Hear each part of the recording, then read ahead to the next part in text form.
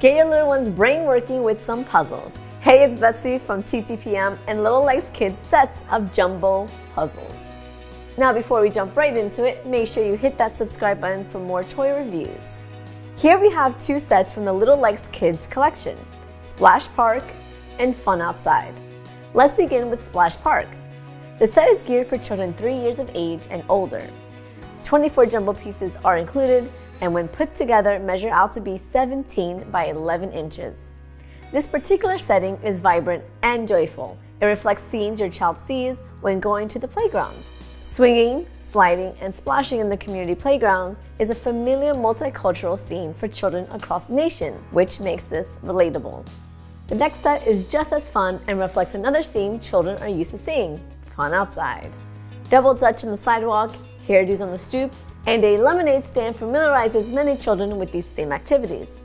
This set includes 48 jumbo pieces and is geared for children 4 years of age and older. When this puzzle is done, it measures to be 15 by 20 inches. Both sets have a great attention to detail as the back of the puzzle pieces have a logo, so there's no mixing up the pieces with other brands. It is important for children to relate and learn openly through socialization and play. These puzzles help do that. They're simple yet an essential part of early childhood learning. And best of all, they're fun. Jigsaw puzzles are great for getting your child excited and engaged with their own education from an early age. Now let me know, do you enjoy puzzles yourself? Comment down below. My pros, puzzles improve short-term memory, pieces are thick for small hands, they're packed in a sturdy rope handle box, and puzzles are a fun family activity. As for cons, I have none.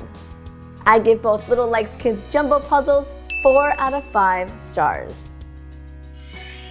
For where to buy and current prices, visit TTPM and subscribe to our YouTube channels for more reviews every day.